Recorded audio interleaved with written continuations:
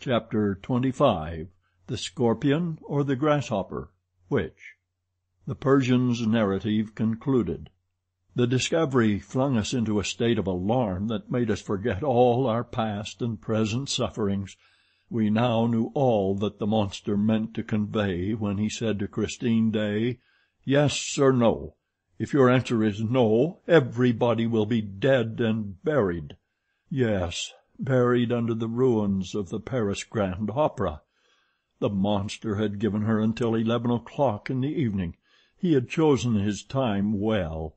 There would be many people, many members of the human race, up there in the resplendent theater. What finer retinue could be expected for his funeral?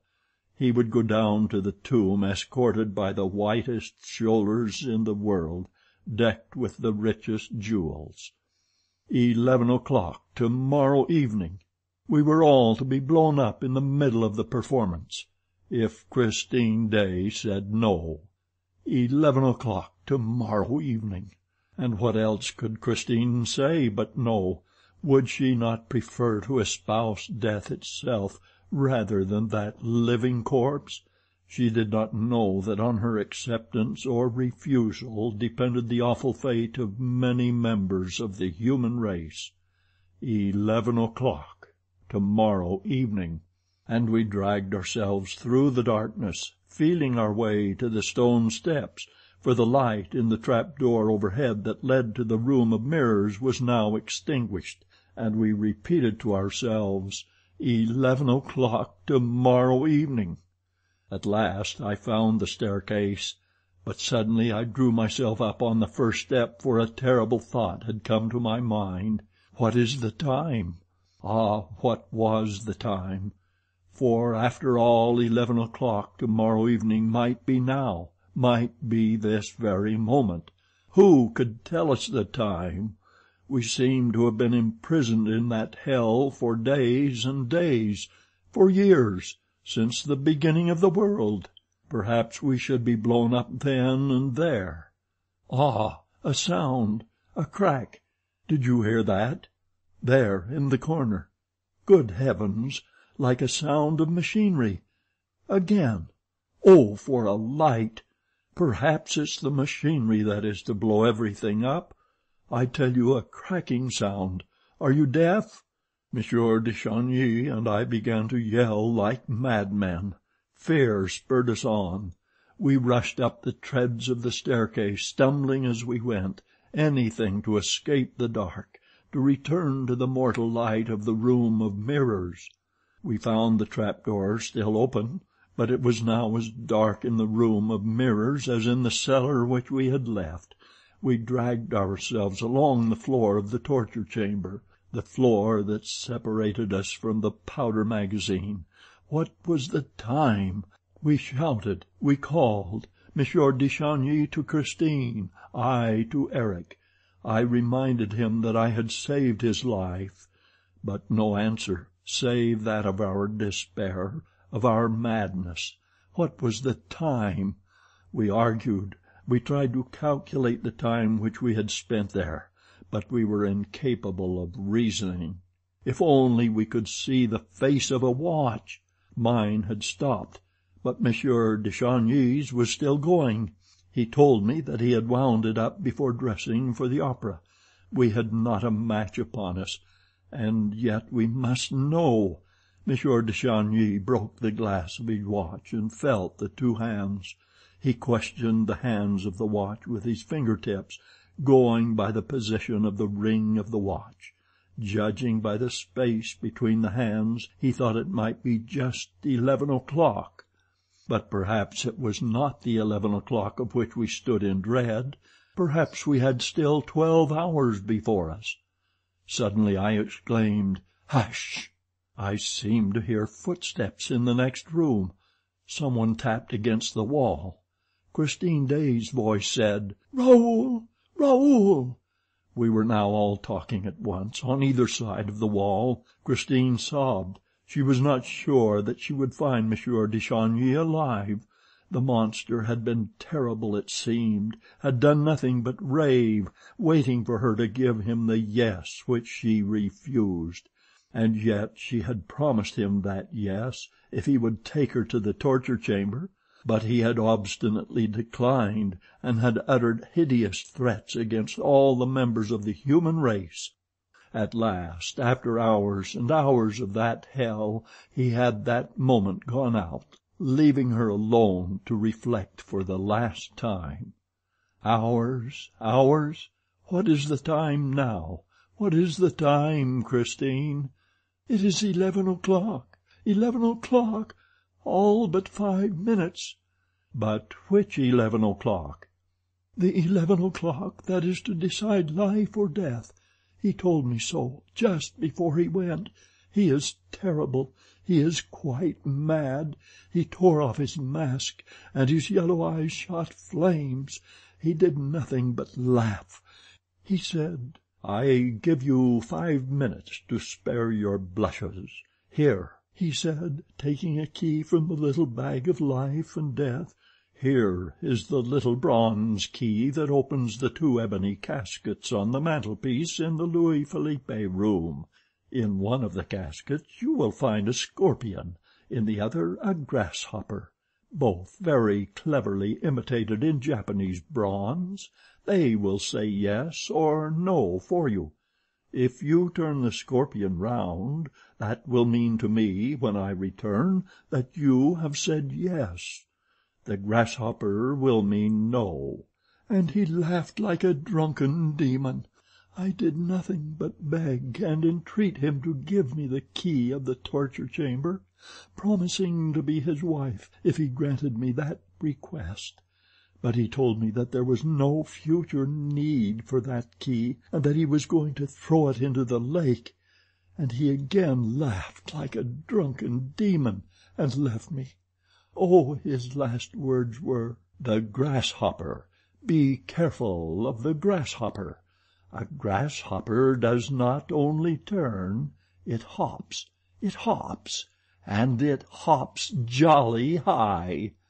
"The five minutes had nearly elapsed, and the scorpion and the grasshopper were scratching at my brain. Nevertheless, I had sufficient lucidity left to understand that if the grasshopper were turned it would hop, and with it many members of the human race. There was no doubt but that the grasshopper controlled an electric current intended to blow up the powder magazine." Monsieur de Chagny, who seemed to have recovered all his moral force from hearing Christine's voice, explained to her in a few hurried words the situation in which we and all the Opera were. He told her to turn the scorpion at once. There was a pause. "Christine!" I cried. "Where are you?" "By the scorpion." "Don't touch it." The idea had come to me, for I knew my Eric, that the monster had perhaps deceived the girl once more. Perhaps it was the scorpion that would blow everything up. After all, why wasn't he there? The five minutes were long past, and he was not back. Perhaps he had taken shelter and was waiting for the explosion. Why had he not returned? He could not really expect Christine ever to consent to become his voluntary prey. Why had he not returned? "Don't touch the scorpion," I said. "Here he comes!" cried Christine. "I hear him. Here he is!" We heard his steps approaching the Louis Philippe room. He came up to Christine, but did not speak. Then I raised my voice. "Eric, it is I. Do you know me?" With extraordinary calmness he at once replied: "So you are not dead in there? Well, then, see that you keep quiet." I tried to speak, but he said coldly: "Not a word, daroga, or I shall blow everything up." And he added: "The honor rests with Mam'selle. Mam'selle has not touched the scorpion." How deliberately he spoke! "Mam'selle has not touched the grasshopper." With that composure! But it is not too late to do the right thing. There! I open the caskets without a key, for I am a trap door lover, and I open and shut what I please and as I please. I open the little ebony caskets. Ma'm'selle, look at the little dears inside. Aren't they pretty? If you turn the grasshopper, ma'm'selle, we shall all be blown up. There is enough gunpowder under our feet to blow up a whole quarter of Paris. If you turn the scorpion, ma'm'selle, all that powder will be soaked and drowned. Ma'm'selle, to celebrate our wedding you shall make a very handsome present to a few hundred Parisians who are at this moment applauding a poor masterpiece of Meyerbeer's. You shall make them a present of their lives, for with your own fair hands you shall turn the scorpion, and merrily, merrily we will be married." A pause, and then: "If in two minutes, ma'm'selle, you have not turned the scorpion, I shall turn the grasshopper, and the grasshopper, I tell you, hops jolly high." The terrible silence began anew. The Vicomte de Chagny, realizing that there was nothing left to do but pray, went down on his knees and prayed. As for me, my blood beat so fiercely that I had to take my heart in both hands lest it should burst. At last we heard Eric's voice. "The two minutes are past. Good bye, ma'm'selle. Hop, grasshopper." "Eric!" cried Christine. "Do you swear to me, monster, do you swear to me that the scorpion is the one to turn?" "Yes, to hop at our wedding." "Ah, you see, you said to hop." "At our wedding, ingenuous child. The scorpion opens the ball. But that will do. You won't have the scorpion. Then I turn the grasshopper." "Eric!" "Enough." I was crying out in concert with Christine. Monsieur de Chagny was still on his knees praying. "Eric, I have turned the scorpion." Oh, the second through which we passed! Waiting, waiting to find ourselves in fragments amid the roar and the ruins. Feeling something crack beneath our feet, hearing an appalling hiss through the open trap door, a hiss like the first sound of a rocket. It came softly at first, then louder, then very loud, but it was not the hiss of fire, it was more like the hiss of water and now it became a gurgling sound. Guggle! Guggle! We rushed to the trap door. All our thirst, which vanished when the terror came, now returned with the lapping of the water. The water rose in the cellar, above the barrels, the powder barrels. Barrels! Barrels! Any barrels to sell and we went down to it with parched throats. It rose to our chins, to our mouths, and we drank. We stood on the floor of the cellar and drank. And we went up the stairs again in the dark, step by step, went up with the water. The water came out of the cellar with us and spread over the floor of the room. If this went on the whole house on the lake would be swamped. The floor of the torture chamber had itself become a regular little lake in which our feet splashed. Surely there was water enough now. Eric must turn off the tap. Eric! Eric! That is water enough for the gunpowder. Turn off the tap. Turn off the scorpion. But Eric did not reply. We heard nothing but the water rising. It was halfway to our waists. "Christine!" cried Monsieur de Chagny. "Christine! The water is up to our knees." But Christine did not reply. We heard nothing but the water rising. No one, no one in the next room, no one to turn the tap, no one to turn the scorpion. We were all alone in the dark, with the dark water that seized us and clasped us and froze us.